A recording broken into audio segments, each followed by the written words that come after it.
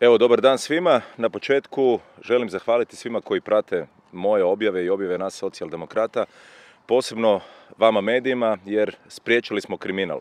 Spriječili smo kriminal od 44 milijuna eura krađe iz gradskog proračuna. Kao što znate, na zadnjoj sjednici gradske skupštine došla je nova odluka o zajmu kod Europske investicijske banke umanjena za čak 44 milijuna eura kamata. Zagreb je trebao dići kredit od 207 milijuna eura, vratiti 286 milijuna eura, sada vraća 35 milijuna eura kamata, treba je vratiti 79 milijuna eura kamata. To znači da smo direktno kroz zajedničko djelovanje i medija i nas koji otkrivamo afere i kriminal u gradu Zagrebu, a i dopisom prema resornom ministru, ministru financija, izgleda uspjeli spriječiti one koji su mislili zamračiti otprilike 44 milijuna eura novaca građana grada Zagreba jer su odustali od svojih nauma i poslali izmijenjenu odluku na skupštinu. Mi ćemo i dalje nastaviti otkrivati kriminal i afere.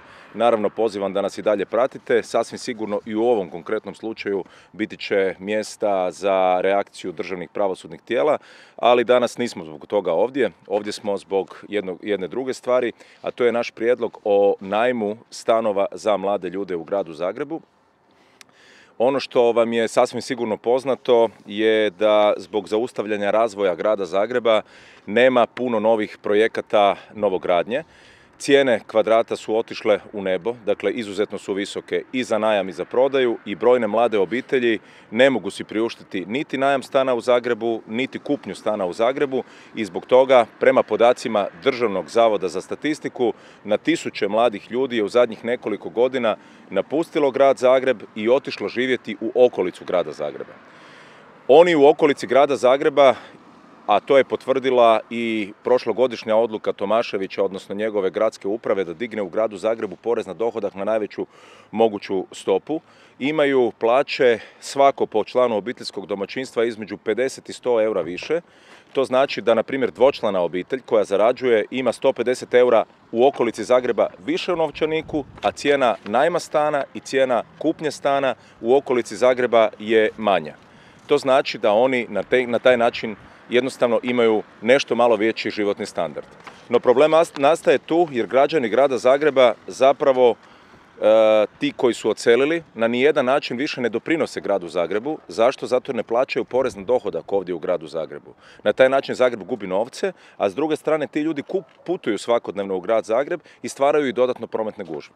E upravo kako bi spriječili da oni sljedećih 30 ili 40 godina nastave živjeti, na primjer, u Velikoj Gorici, Svetoj Nedelji, Samoboru, Vrbovcu, Ivanić gradu ili negdje drugdje, upravo kako bi ostavili onaj njihov doprinos, radni doprinos, kroz porez na dohodak ovdje u gradu Zagrebu za razvijanje naših projekata, važno je spriječiti odljev mladih ljudi u gradu Zagrebu. I zato stojimo upravo ovdje na ovoj lokaciji u Podbrežju gdje je upovom uređenja Podbrežja predviđena gradnja sve skupa na 19,5 hektara 11 grada.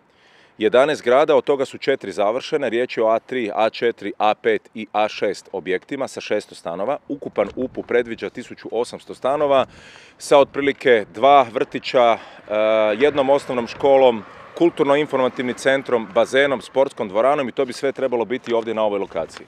To znači da u ovom trenutku ima ovdje završetkom projekta 1200 stanova na raspolaganju.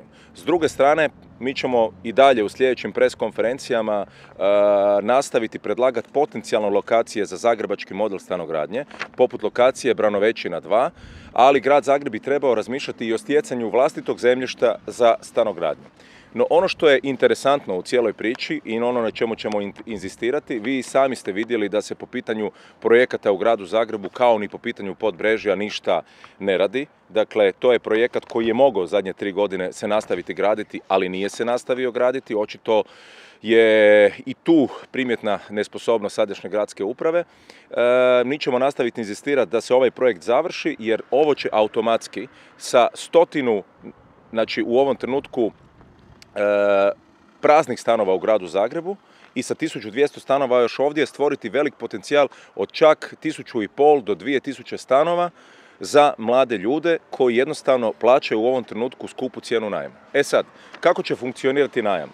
Dakle, Cijena najma po našem prijedlogu za mlade ljude biti će 5 eura po kvadratu, što će za stan od 60 kvadrata iznositi 300 eura, to će biti duplo niže od tržišne cijene.